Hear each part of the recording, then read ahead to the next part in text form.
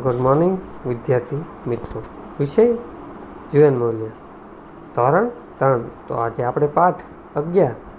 દયાળુતા વિશે ભણીશું. મદદ કરીને બીજાને ખુશી આપી એ જ દયાળુતા છે. આપણા વિચારોથી, શબ્દોથી અને કામોથી દયાળુ બની શકીએ છીએ. આપણે મિત્રો અને શત્રુઓ બંને પ્રત્યે દયા દાખવી જોઈએ.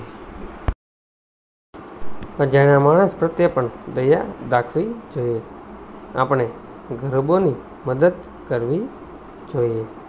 આપણે આપણી પાસે જે કાંઈ પણ હોય તેની વહેંચણી બીજા સાથે કરીને પણ દયા દાખવી શકીએ છીએ.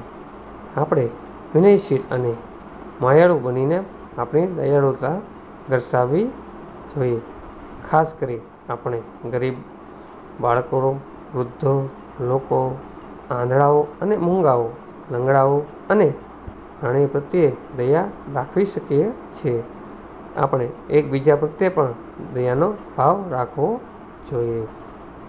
ભગવાને બનાવેલી દરેક વસ્તુ પર દયા દાખવી એ જ સાચી પ્રાર્થના છે. જે લોકો દયાળુ છે, એમને ભગવાન આશીર્વાદ આપે છે. તો વિદ્યાર્થી મિત્રો, આપણે પણ દયા દાખવવી જોઈએ. વૃદ્ધો, બાળકો કે આંધળા મૂંગાઓ, લંગડાઓ અને પ્રાણીઓ પ્રત્યે આપણે દયા દાખવી જોઈએ અને એમની મદદ કરવી જોઈએ. તો વિદ્યાર્થી મિત્રો, આ પાઠ અહીંયા પૂર્ણ થાય છે. ચલો, આ પાઠનો સ્વાધ્યાય જોઈએ. પછી તમારે તે સ્વાધ્યાય ફેરબુકમાં લખવાનો રહેશે. અભ્યાસ, અ નીચે આપેલા પ્રશ્નોના જવાબ લખો. પહેલો પ્રશ્ન, પ્રાર્થના કરવાની સારામાં સારી રીત કઈ છે? એમનો જવાબ છે, ભગવાને બનાવેલી દરેક વસ્તુઓ પર દયા દાખવી એ જ સાચી પ્રાર્થના છે. સવાલ બે, આપણી દયાળુતા બીજાઓ માટે શું કરે છે? એમનો જવાબ છે, આપણી દયાળુતા બીજાઓ માટે ખુશીઓ આપે છે. સવાલ ત્રણ. શું આપણે બીજે કોઈ વસ્તુ આપીને જ દયા દાખવી શકીએ છીએ? તેમનો જવાબ છે, આપણે આપણી પાસે જે કાંઈ પણ હોય તેની વહેંચણી બીજા સાથે કરીને પણ દયા દાખવી શકીએ છીએ.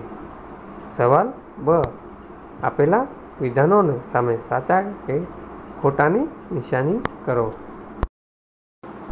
પહેલું, આપણા જૂના કપડાં ગરીબોને આપવા દયાળુતા છે. તો આ વિધાન સાચું છે. બીજું, માંદા માણસની મુલાકાત લેવી એ પણ દયાળુતાનું કાર્ય છે. આ વિધાન પણ સાચું છે. ત્રીજું, લંગણા માણસની સાથે દોડીને હરીફાઈ કરવી એ ખોટું છે. તો આ વિધાન ખોટું છે. ઘરે બેસીને ગીતો સાંભળવા એ દયાળુતા છે. આ વિધાન પણ ખોટું છે. પાંચમું, ચલચિત્ર જોવા. જોવું એ દયાળુતા છે. આ વિધાન પણ ખોટું છે. છઠ્ઠું, પ્રાણીઓને ભજવવા કે ઈજા કરવી એ દયાળુતા નથી.